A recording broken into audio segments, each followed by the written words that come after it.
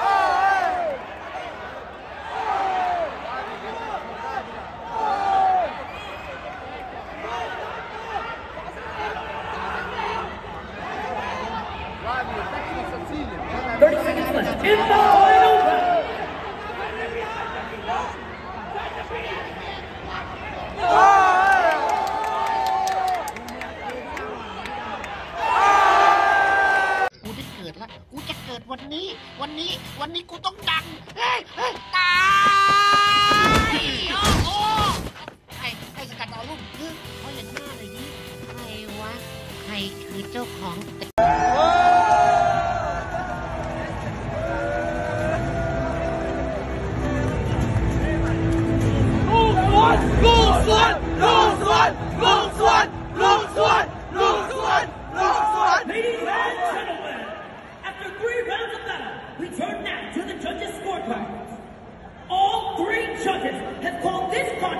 in favor of your winner by unanimous decision.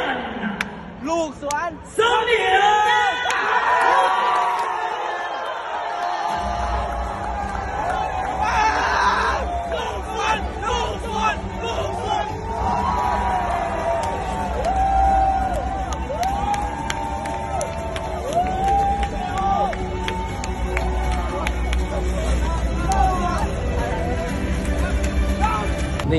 มนักมวยคนแรกของเราที่มาต่อยในการวอลลูมินีของค่ายลูกสวนของเราครับผมคือสมิงดำลูกสวนนะครับผมเป็นไงความรู้สึกก็ชนะครับผมดีใจมากครับ ลงมาก็ร้องผมร้องไห้เลยคร้รัอบงไห้เลยคือร้องไห้เสียใจที่ไม่ได้โบนัส เพราะว่าเราได้นับตอนยกที่ 2 แล้วเราพยายามทำเขาแต่เขาไม่ไม่หล่นนะครับผมถ้าทำเขา 10 วิ 20 วิเขาไม่หล่นเนี่ย เราก็ต้องหยุดก่อน ผมเป็นคนสั่งเขาไว้เอง เพราะว่าถ้าเราพลาดโดนไปเนี่ยปึ้งเราหลับเราแพ้โอกาสที่มาต่อยมันมันยาก ไม่ใช่ว่าเราไม่อยากได้ แต่มันมันช่วยไม่ได้ ถ้าถ้าสมมติหลายๆ คนเห็นแล้วไม่โอเคไงก็ให้มาว่าที่ผมเพราะผมเป็นคนสั่งเด็กเอง เพราะว่าของแบบนี้มันโดนมันก็หล่นกันได้ครับผมเป็นไงเราพยายามกันมาก็ผ่านมามากครับทั้งคำดูถูกทั้งคำชมก็ รับมาเยอะครับ เพราะว่า แล้ก็ไฟล์นี้เป็นไฟล์ที่แบบเราคอยมานานมากแล้วก็ครับซ้อมซ้อมกันหนักด้วยตัวผมก็คุมซ้อมเรื่องเรื่องมีทั้งเรื่องมาเรื่องเรื่องเวทแล้วก็มีอาจารย์วัดก็แบบหลาย ๆ คนต้องบอกว่าทีมงานทุกคน แม้แต่พวกเด็ก ๆ ในค่ายช่วยกันปั้มเลยหลาย ๆ คนที่ทำให้เรามาใช่ถึงจุดนี้ได้ครับผมที่ถามว่าเป็นก้าวแรกก้าวเล็กๆที่ได้เปิดโอกาสให้เราได้มา ต่อยที่นี่ครับผมเราเป็นค่ายเล็กๆแต่เราก็ได้มาต่อยนี่ก็ต้องขอบคุณเอ่อซอเอ๋ใช่ครับอ่าแล้วก็ประเทศธรรมะสอจอครับอ่าแล้วก็คุณชาตรีที่ให้โอกาสค่ายเล็กของเรา แล้วเราจะมีอีกอาทิตย์หน้าก็มีแรมบ้องแล้วก็มีสุเลมานที่เจอกับเจ้าม็อกก็ก็ขอบคุณมากๆเลยผมเป็นไง ตอนนี้อยากจะมีอะไรฝากบอกกับ FC บ้างก็ถ้ายังติดตามผมอยู่นะครับเดี๋ยวผมจะทำผลงานออกมาให้ให้ดีกว่าเดิมผมเชียร์กันต่อไปนะครับดินจาเต่าเมืองไทยนะครับผมแล้วอยากจะขอโทษอะไรไหมแบบว่ารู้ สึกตัวเองอะพูดเลยพูดได้เลยพูดกับกล้องเลยอะเข้ามาพูดกับกล้องเลยก็แบบว่ารู้เราเราพลาดตรงไหนก็พูดพูวัดนได้นี้เลยเป็นมันตื่ตื่นนเต้เต้นนตื่นเต้นมากครับไม่กล้าผมแบบทำเขาอะไรเราพูดเลยเราที่เราเทรนมาทั้งหมดในหัวผมตอนขึ้นเวทีไป แทบไม่หลงเหลืออะไรในหัวเลยครับ ใช้สัญชาตญาณต่อยคือแล้วก็ลืมด้วยลืมหมดเลยครับ ผมว่าตื่นเต้ปนกไม่ติเคยบล็มาอกเวทีใหญ่บล็อกเราต้องออกอาวุธผมบล็อกแล้วผมนิ่งแบบ ทำอะไรมัไม่นรู้ทำอะไรไม่ถูกเลยครับ มันครั้งแรกครับแสงสีเสียงทำให้เด็กตื่นเต้นต้องขออภัยด้วยถ้าแบบไม่ถูกใจใครหลาย ๆ คนครับผมไงก็อย่าลืมติดตามค่ายลูกสวนแล้วก็สมิงดาวผมสวัสดีครับวีโร่เอาใจคนรักกีฬาแอดเลยไทเกอร์ 126 มีกลุ่มมวยพักยกให้คุณได้ดูมวยสด ฟรี ไฮไลท์ ฟรี เทียบราคาปอนด์ต่อปอนด์ rate ราคาที่ดีที่สุดในประเทศไทย add เลยไทเกอร์126 ไม่ได้มีแค่มวยเขามีฟุตบอลบาสเกตบอล บอลไทย บอลนอก มวยไทย มวยนอก add เลยไทเกอร์126 ครบจบในที่เดียว